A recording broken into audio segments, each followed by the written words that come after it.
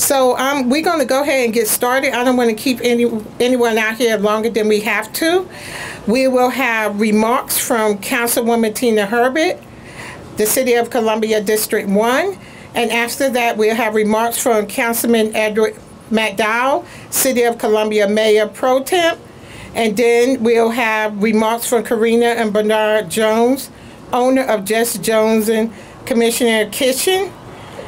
And then we'll do the ribbon cut and photo ops, and we'll have some closing remarks.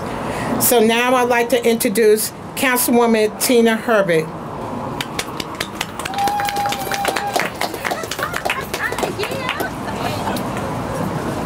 I'm sorry, y'all. Despite how slowly I walked up here, I am excited to be here today those I see some personal friends. I am Tina Herbert, and I represent District One.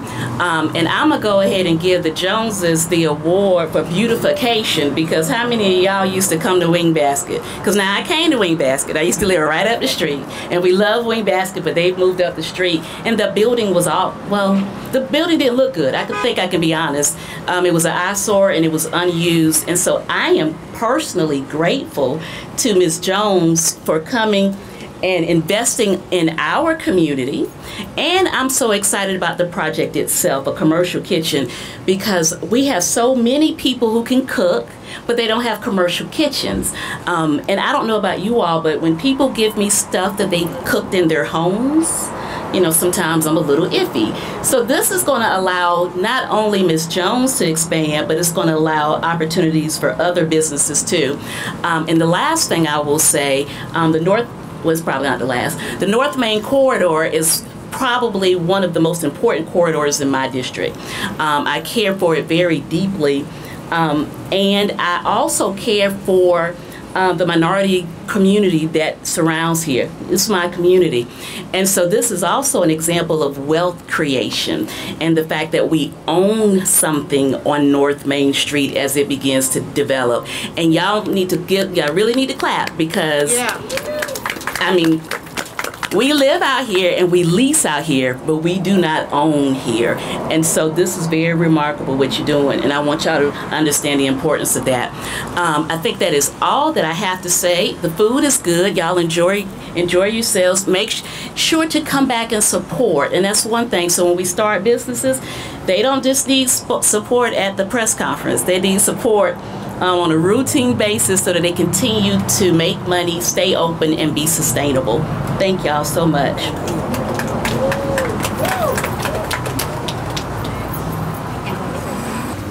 Good afternoon. Thank y'all. We are, I, look, I'm a person of a lot of words, and then you get on the spotlight and you don't have many words, but it's just looking around and seeing people of different parts of our life and family members and friends, and okay, I'm a crybaby. Um, so, just such a blessing to be in a position to be able to have a, a business. Have my husband Bernard with me. my son Bryson. Daughter Carson. I had my best friend Makia flew down this morning, and my mother, my cousin Jerry, and so we are just so we are just so grateful to be in this position, to be able to own a business in this area, to be able to give back to our communities, and to be able to offer to other food truck owners. We're new to this industry, right? We've only been doing this for a year. And so to be able to be in a position to have our own space to prepare our food and then offer that opportunity to other um, food truck owners, bakers, caterers, and the likes.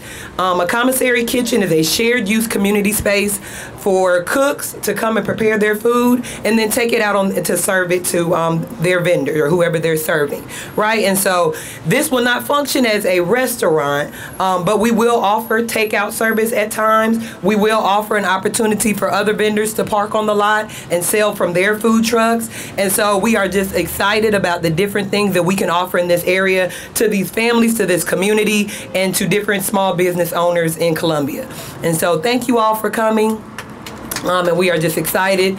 Um, come enjoy the potatoes. I only baked a little bit because I wanted to have fun with y'all. We got a little music. We got Kiss 103.1. So I didn't bake a whole lot of potatoes, but we have Chuck E. Cheese, Philly cheesesteaks, and hoagies.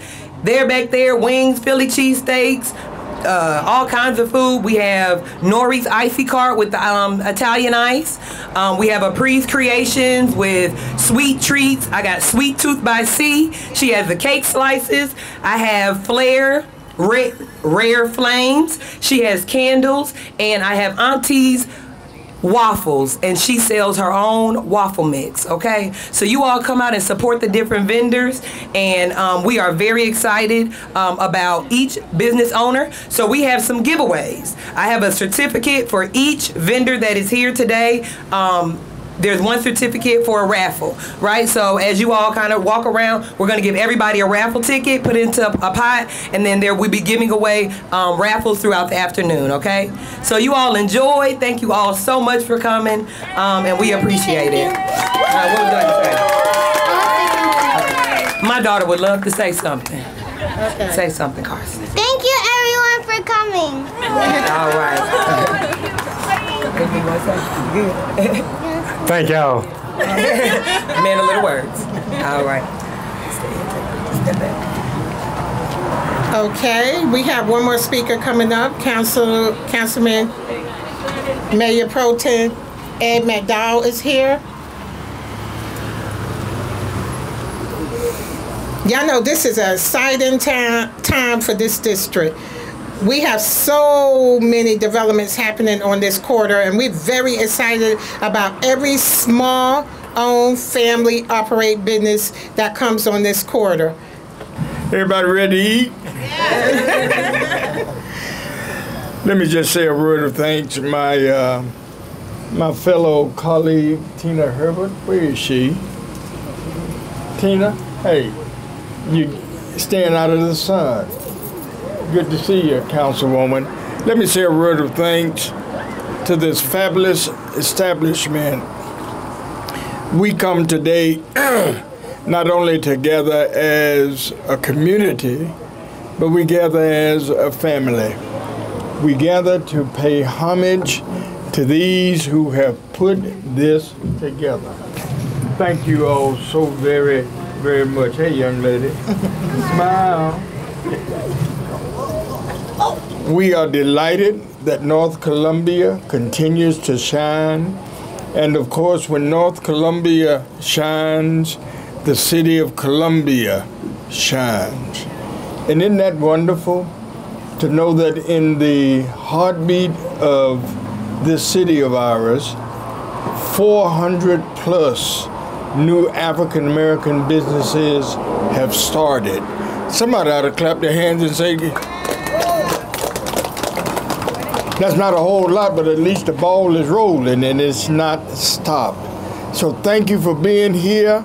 Sabrina Odom, my friend and my colleague, thank you so much for being who you are and what you do for this community. Thank you so very, very much. Thank you.